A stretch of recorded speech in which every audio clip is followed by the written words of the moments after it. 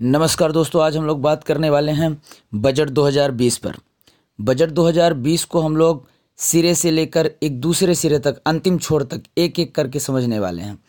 Budget 2020 की कुछ खास बातों को वैज्ञानिक दृष्टिकोण से निकाल करके परीक्षाओं के परीक्षाओं के लिए जो अति महत्वपूर्ण है उन्हें हम लोगों ने क्रमबद्ध तरीके से एडजस्ट किया है, जिसे सरल शब्दों में बेहतरीन तरीके से सबसे कम समय में परीक्षा के दृष्टिकोण से क्या महत्वपूर्ण है, उसे एक सिरे से दूसरे सिरे तक अर्थात अंतिम छोर तक पढ़ सकें।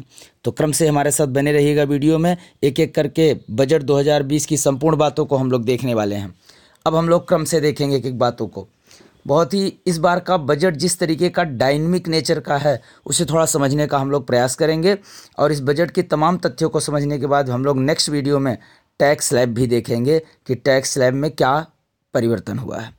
आइए दोस्तों, शुरू करते हैं इस वीडियो को। सबसे पहले, इस बजट में वर्ष 2024 तक देश के हर ज़िले में जन औषध केंद्र स्थापित करने का लक्ष्य रखा गया है।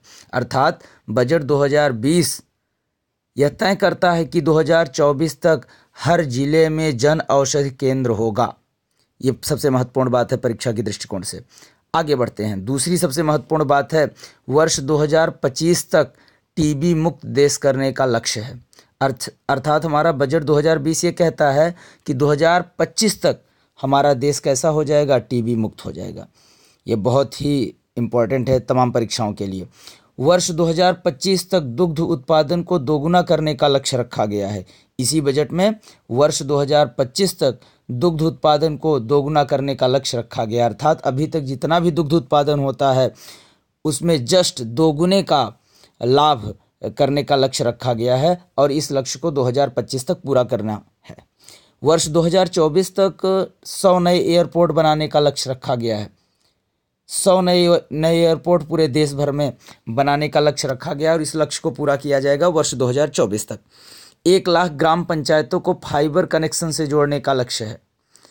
प्रधानमंत्री जन आरोग्य योजना से, यहाँ से बहुत महत्वपूर्ण प्रश्न बनकर के सामने आता है। प्रधानमंत्री जन आरोग्य योजना से 112 जिलों को जोड़ने का लक्ष्य है। 112 ज़िले देश के ऐसे होंगे जो प्रधानमंत्री जन आरोग्य योजना से जोड़े जाएँगे। रांची में आदिवासी यूनिवर्सिटी स्थापित करने का लक्ष्य है। रांची में आदिवासी यूनिवर्सिटी स्थापित करने का लक्ष्य है, अर्थात इसी बजट के द्वारा यह पारित हुआ है कि आदिवासी यूनिवर्सिटी जो बनेगी, वो रांची में बनेगी। पाँच भारतीय धरोहर, अति महत्वपूर्ण प्रश्न। पाँच भारतीय धरोहर संरक्षण संस्थान स्थापित किए जाएँगे। दोस्तों, ये कहाँ स्थापित किए जाएँगे? यहाँ से प्रश्न बनने के सर्वाधिक चांस हैं। पहला, हस्तिनापुर, उत्तर प्रदेश में। ये पाँच भारतीय धरोहर संरक्षण संस्थान जो हैं, ये हस्तिनापुर, उत्तर प्रदेश में, शिवसागर, असम में राखी गढ़ी हरियाणा में और धौलावीरा गुजरात में स्थापित किए जाएँगे।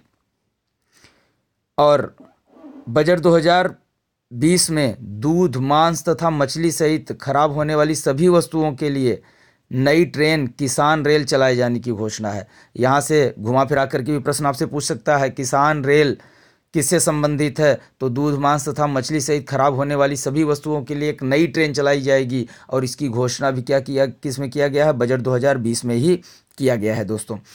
तो अगला पॉइंट लेते हैं। पीपीपी मॉडल के तहत पाँच स्मार्ट सिटी विकसित करने का लक्ष्य इसी बजट 2020 में ही रखा गया है। बजट 2020 में ही पीपीपी मॉडल के तहत पाँच स्मार्ट सिटी विकसित करने का लक्ष्य रखा गया है।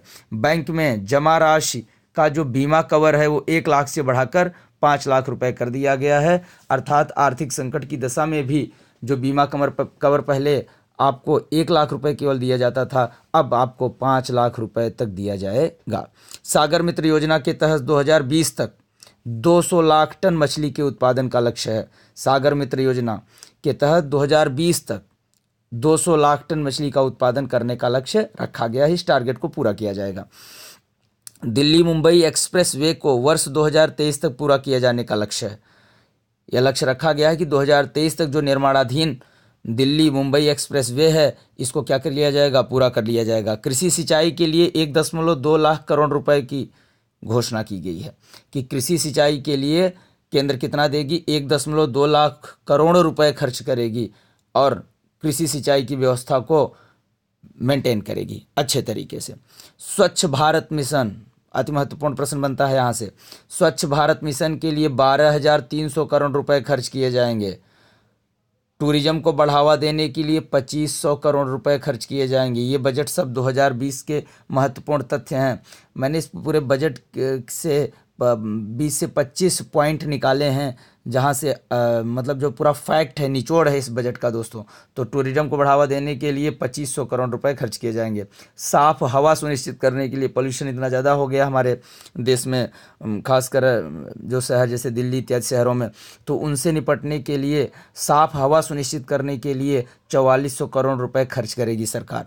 स्वास्थ्य योजनाओं के लिए इसी बजट 2020 में स्वास्थ्य योजनाओं के लिए 69,000 करोड़ रुपए खर्च कर किए जाएँगे अर्थात उनहत्तर हज़ार करोड़ रुपए खर्च किए जाएँगे। शिक्षा के लिए निन्यानवे हज़ार तीन सौ करोड़ रुपए खर्च किए जाएँगे। शिक्षा के क्षेत्र में एक आमूलचूल परिवर्तन लाने के लिए इस बजट 2020 में निन्यानवे हज़ार तीन सौ करोड़ रुपए सरकार खर्च करेगी।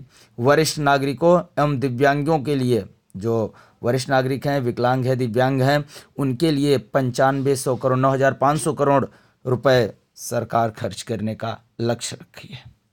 महिला विशिष्ट कार्यक्रम को बढ़ावा देने के लिए अट्ठाईस हज़ार छः सौ करोड़ रुपए लगाए जाएँगे। मिल्क प्रोसेसिंग क्षमता को 108 मिलियन टन तक पहुँचाने का लक्ष्य रखा गया है।